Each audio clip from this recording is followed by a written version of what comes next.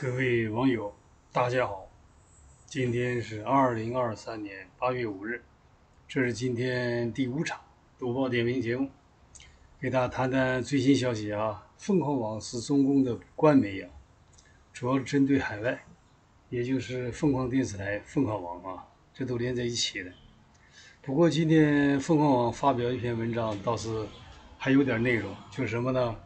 关于这个河南省啊，这个有些部门截留灾后恢复重建资金的问题。因为上一次这个郑州发了大水啊，就有点类似现在。比现在要稍微轻一点，现在比过去严重，但是性质都一样。只要发生这个洪灾，肯定是当官的就是表演。首先顾他们自己。你看上一场这个在郑州发生了大水，市委书记徐立毅吓得藏起来了，是吧？其实那时候他就是跑北京跑官，因为他属于习近平的嫡系。就习近平这一伙人呢，个个都是腐败分子，基本上好的人就是说。呃，有点这个，这个真正想做事的很少啊。因为什么？因为你看当初这个，同样在河南省啊，人家胡春华有一个嫡系啊，就在这个呃和这个郑州临近的一个市当市长，人家治理洪水就治理的比较好，因为他日夜都在那个经常到那堤坝视察。但习近平这个徐立毅那段时间就想当官。他心想他是习近平铁哥们啊，据说习近平承诺给他个官当，先让他当那个郑州市委书记，再提拔就副书记，然后就督督掌河南了，想把李克强老巢攻破。那徐立毅是习近平的嫡系当中铁杆结果没想到他闯了大祸了。后来由于李克强当时总理啊，李克强联络这些元老们，这个我记得也是在北戴河会之后啊集体发力。才把这个徐立搞下去，搞下去也没彻底搞下去啊，因为习近平保他，最后是不了了之。反正他官没当上，把他免了河南省常委的职务。现在据说是成为习近平幕僚了，呃，反正过得很舒服，没上去啊。这一次又来了，你看这一次这个呃官媒凤凰网很诡异啊，报道一条消息，近日河南省审计厅发布了一条。一份令人瞩目的审计报告。报告披露，二零二一年七月，也就上次大水吧，有很多那个汽车在地下，呃，在一个这个交通要道上，是吧？在一个高速路口那个地方，很多汽车被淹没、淹死了哈，还有这个司机被淹死，还有地铁死人。现在把这事拿出来，你看见没有？二零二一年，河南省遭遇历史罕见特大暴雨。这篇文章讲啊，发生严重洪涝灾害以后，两年来近百亿的灾后重建资金运运用存在问题，其中二百四十二个项目存在着工程质量问题，涉及到七十三个县区，投资额三十三点四六亿，二十四个项目未经验收就交付使用，涉及投资额五点六三亿，二十二个项目虚报开工和完工情况，涉及金额十二点八三亿哈。此外，卫辉市等两个县融资平台截留灾后恢复重建资金三千零九十亿啊！你就想一想，这是官媒报道的，官媒已经隐藏了很多真相了，严重缩水了。其实比这个严重的多。那么我问你，他为什么现在北京、河南、全国各地又开始来了洪灾的时候，他把这个文章分抛出来，转移人们的视线，让人盯住河南，而河南恰恰是谁？李克强的老巢，对吧？你看，这是出于内斗。但不管怎么样，他讲这个事儿是是一个大事儿。他说，灾后重建资金出现问题，甚至截留，这可能是国家和政府划拨的专项资金，为什么没有用到老百姓身上？又是如此，谁如此胆大妄为？监管核查在哪里？重建家园后的灾民重建资金出现问题，损失的是国家，痛心是老百姓，容不得一丝一毫的差池。哎。问题在这里，我问你，他为什么这个时间点抛出来？这就一暴露了北戴河会议正在发生激烈的争吵。元老当中，包括李克强、汪洋、胡春华这些人，肯定就批评习近平眼下这场洪水治理的不力，所以他就说：“你你治理的好啊，你看你，你看河南，看见没？因为河南呢，虽然换了一茬人了，但基本上还是李克强的人，换不完。你包括山西，为什么今天中新网站又抓两个山西领导干部？那就证明什么呢？胡家天下另家党了。因为胡锦涛干了十年，你想想，对吧？完李克强又干了十年。当然，李克强干挺憋屈，但是同样在河南、山西、辽宁，他的底细也不少。这就表明啊，双方在北戴河吵翻天，互相指责、互相揭短，才出现这篇文章。这篇是内斗的产物。如果没有这个背景，他怎么可能中共的官媒讲自己不好，对不对？这不就转移视线吗？转移到内斗过去的事儿，现在的事他不提，眼下也是这样。你看现在这个洪灾来临的习近平怎么讲的？护城河，告诉聂岳峰是吧？让这个抛弃北京，放弃这个呃这河河河河南省、河北省，放弃了这个这个一些城市哈，呃保北京。保雄安，这不都是一样的？同样的，你下拨这点钱，现在一共下拨了才四点五四五亿，如果我没记错的话，昨天报道对吧？后来又追加了一亿，就京津冀三个省才这么多的钱。当然了，你再多的钱，它也是一样。什么原因？他不会回答你这个问题。制度，你不管换了谁，当然了哈，李克强，你必须承认，共青团派相对还好一点。为什么？他是草根上来，他害怕呀，他他后底座不不强，后台不硬，因为他不是红二代，他不敢谈。再加上有一些人确实人品相对好一点。你要习近平这些嫡系，他都是官二代，他才不管呢，更贪。说都一样啊，狗咬狗一嘴毛啊。这篇文章很有意思，你看这篇文章竟然后来怎么讲？他说，呃，灾后重建资金上动脚，更是与党纪国法不容。国家的钱，老百姓的钱，必须明明白白，必须查到底。他这命还要查李克强的底细，是吧？一看就这是内斗啊！这是一篇文章啊。我们再来看另一篇文章。这个波罗的海三国议会团六号访问台湾了。上一场给大家讲了严成功先先生的文章，对吧？讲到了台湾问题啊。台湾是张大牌啊，美国在打，美国打这个的牌，中共最痛。为什么？打来打去引起了战争，中华民国就回来了，啊，中国就变天了，共产党就下台了。下台以后，就现在这个习近平这些嫡系，靠他们犯这犯滔天罪行，将来他们的结局可想而知，吓死了，是吧？所以现在又来台湾问题了啊！波罗的海这个三国议会团，三个国家议会团都来了，六号访问台湾，这习近平又蹦高跳了，将和蔡英文总统会面。这里还有一张有一张照片，蔡英文照片啊！哎呀，有些人瞧不起蔡英文呢，我很看好。我告诉你们啊，很可能，假如有一天中华民国这个重新回到大陆了，统治中国，就看民选了，对吧？民选谁谁上啊？民选魏京生魏京上，民选蔡英蔡英就上来了，对吧？很简单，年轻，有政绩，干了台湾干了两届，干得很好，对不对？你得有政绩才行啊！你看这篇文章怎么讲哈？波罗的海三国的议会外交委员会主席访问团定于八月六号到十一号，七八九十十一，差不多一个星期访问台湾。期间，总统蔡英文及立法院长游锡坤高官会面。台湾外交部今年八月五号表示，对波罗的海三国的国会近年首度筹组访团，表达诚挚的欢迎之意。并称乐见各方增进交流，共同强化民主同盟和互惠关系。这个消息讲呢，该团将与台湾总统蔡英文、行政院长陈建仁呐、立法院长游锡坤、外交部长吴钊燮会面，也将拜会数位发展部及国内智库的专家学者。就来了这么多人，这个交流是全方面的，总统、议会，哎，是吧？行政院人都要见。立法院都要见的，说是此外呢，访团也将进行文化参访及科技体验，借由实地的访查，直接，呃，与台湾政府的高层官员与专家学者深入啊这个对话，说针对什么呢？针对这个强化双边关系及亚欧区域安全连结等议题交换意见。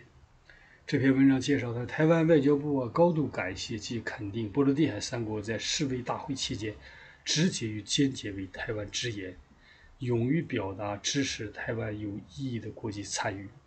他的来来访的人标志什么？标志台湾在外交领域现在绝对是长袖善舞啊！这强调什么呢？台湾与波罗的海三国同样长期面临极权主义国家的军事威胁。这指谁就指中共呗？数位领域的网络攻击，中共有了钱，他搞网络攻击啊，他不干正事儿啊。还有这个假消息、假讯息以及认知作战，乐见各方增进合作交流。共同应对威权体制的威胁。就下步如果打仗的话，人这些国家肯定站在台湾的一边了啊！不要看小国啊，联合起来就强大了。这篇文章讲强化民主同盟及互惠关系。现在还没看到中共做什么反应，中共肯定有坚决反对。你反对有啥用？人谁搭理你？是不是？德不孤，必有邻呐，对吧？你品德好，你来的看的人朋友才多，是吧？你家过死门？就因为你没有朋友。这不很简单吗？我们再来看另一篇文章，他说是不是美国无能啊，而是中国太强大。我们看有人给美中共吹捧吹捧，到底怎么回事？这德国之声的文章啊，他讲到什么呢？讲到中共国现在的经济发展。他说《难得一德意志报》呃有一篇评论，他说呢，今后的美国将把主要的发展精力啊用于对付中国了。说欧洲必须更多地承担起维护自身安全的职责。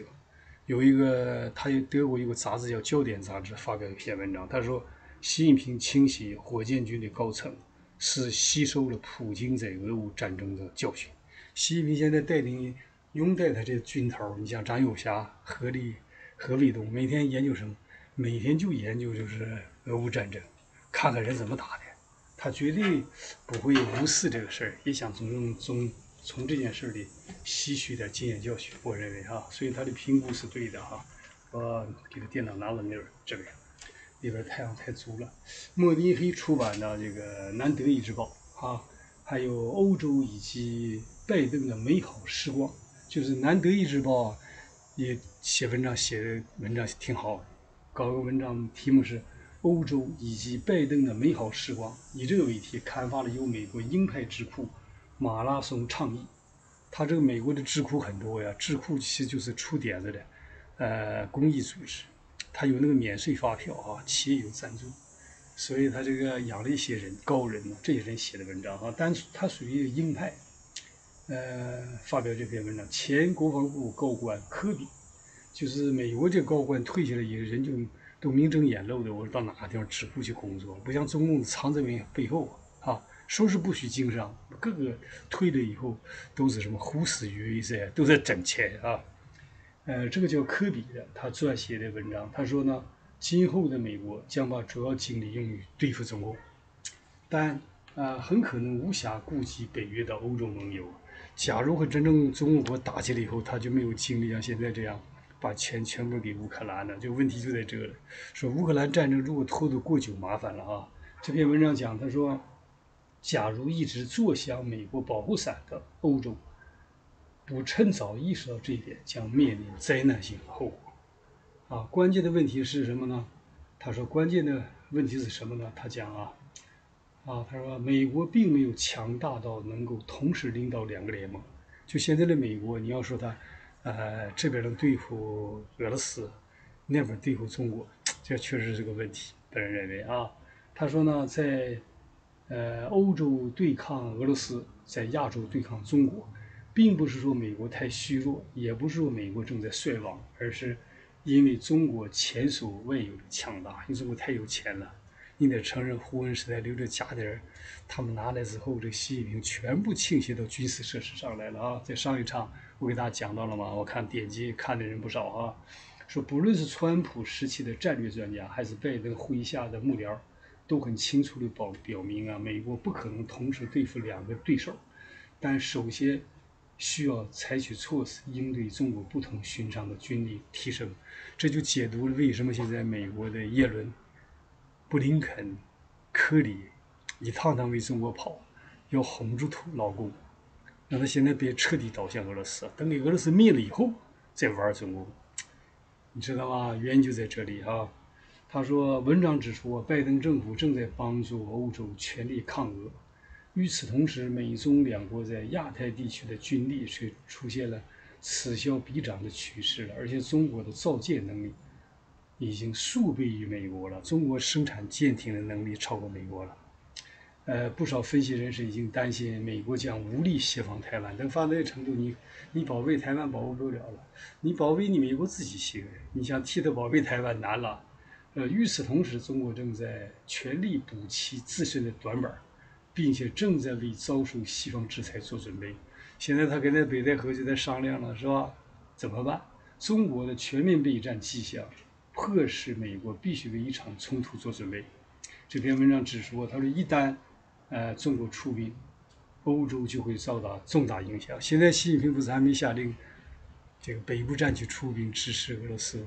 如果他现在说我支持他武器，我不怕你制裁，我支持他士兵，我不怕你制裁，麻烦大了。我跟你讲是很大的问题啊。说中国军队固然有可能像如今的俄罗斯那样磕磕绊绊，但是就像眼下的俄乌战争那样，中国发起战争对华盛顿而言会十分漫长。就这个肯定战争要打赢就得挺长时间，不是说几天就完了啊。他说，美国届时极有可能陷入二战以来最为困难的一场冲突，演变成一场艰难、血腥、疲乏的消耗战。美国也可能输掉这场战争，届时将得不得不试图稳住自己在亚洲的地位，从而防止自身崩溃。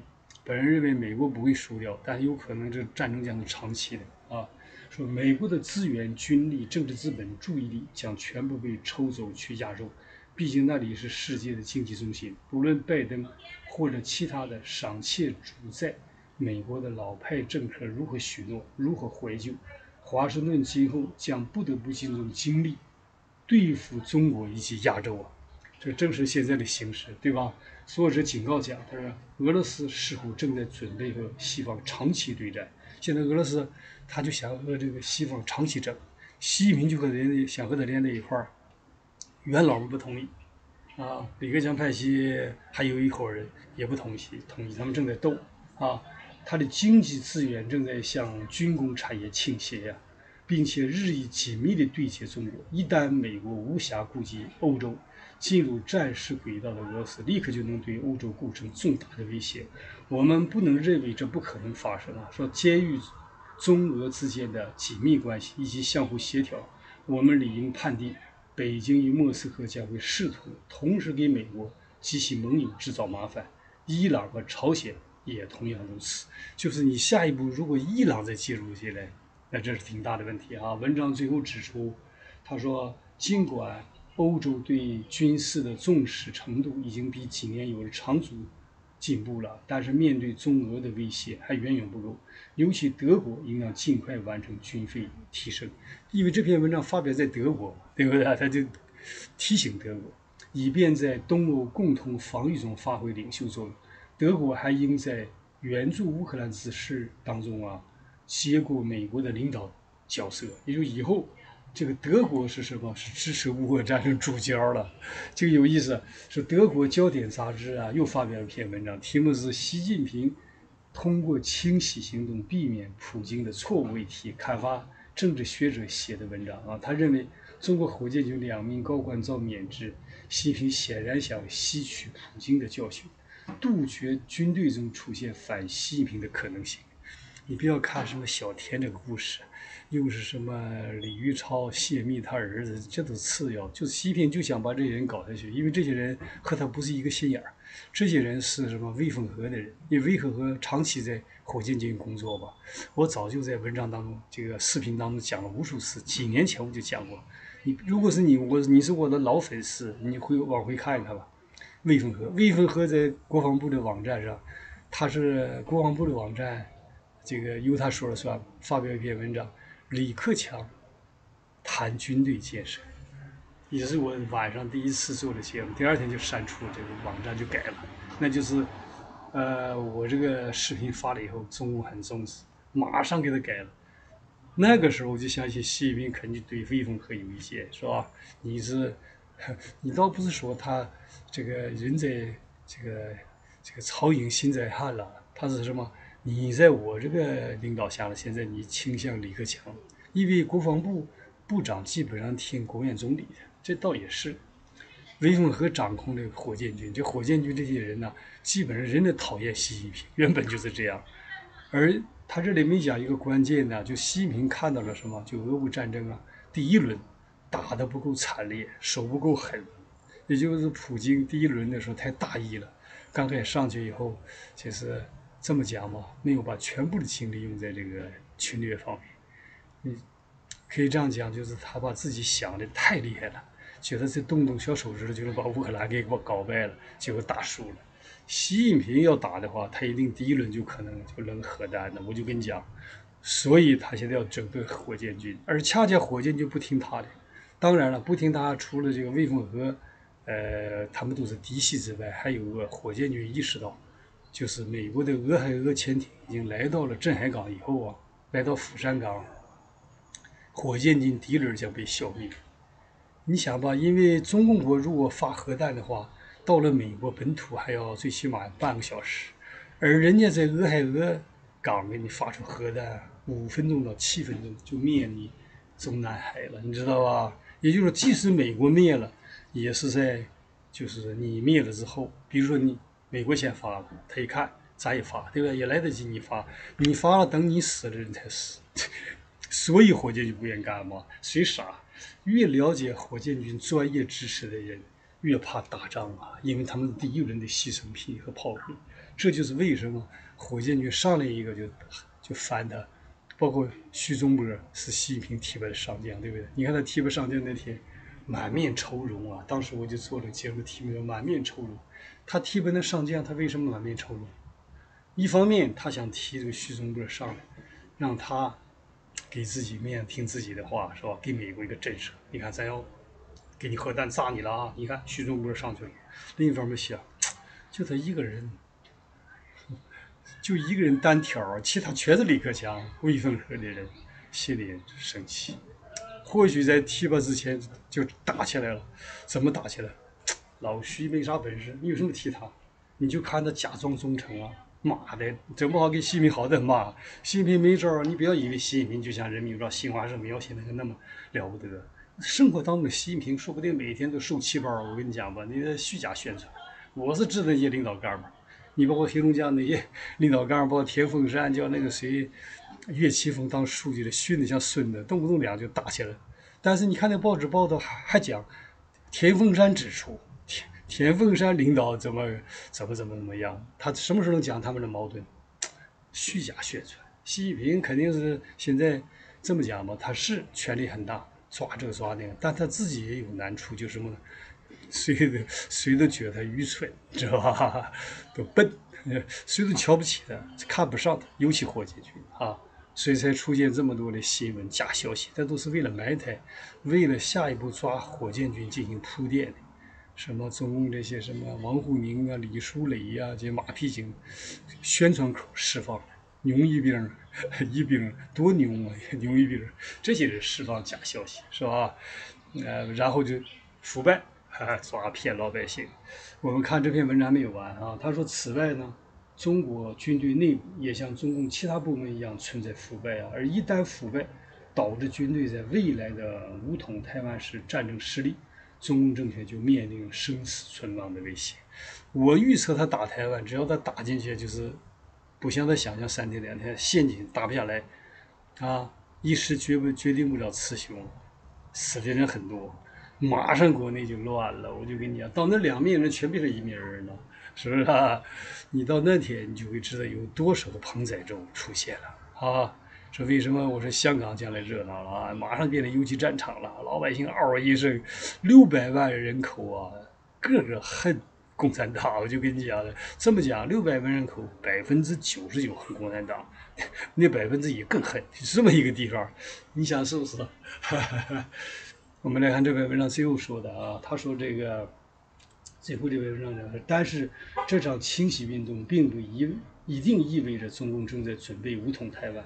习近平第三个任期的关键词儿是国家安全，他想要对中国所有的人生活予以全面控制。就习近平他如意算盘是什么呢？死去冷战，长期的冷战对他最有利，就是也不打，但互相闹矛盾，然后他统治中国，他就靠军警特线镇压老百姓，他不管老百姓死活，这样呢，他的儿子就要上来。等他儿子上来，他基本就放心了，因为他儿子就像金三胖、金金正日一样，是吧？就保保护、维护这个这个金家王朝，那就麻烦大了。所以美国现在着急，又想现在干的啊。这篇文章讲，他说，所以习近平要在所有岗位上都安置安置正确的人选，也就是听命他的人。因此，火箭军高层的清洗之后，还会有其他部门遭到清洗。现在，美国为什么又抛出了这个就海军陆战队的什么作战什么这个秘密出来了，是吧？就告诉你，咱不光是知道你火箭军内部有叛徒，你每个军种咱都有咱们的咱们的人。那习近平就开始抓了。他到处抓，抓到一定的程度，军头们联合起来把他给抓了，这就避免了一场这个世界大战。这一天或许也能到来，这就看运气了，是吧？就像一九七六年粉碎四人帮人抓了抓了，习近平抓了，是吧？到那天，哎，这就是这个可能还会从 归改革开放之路，这个很难讲了啊。好，谢谢。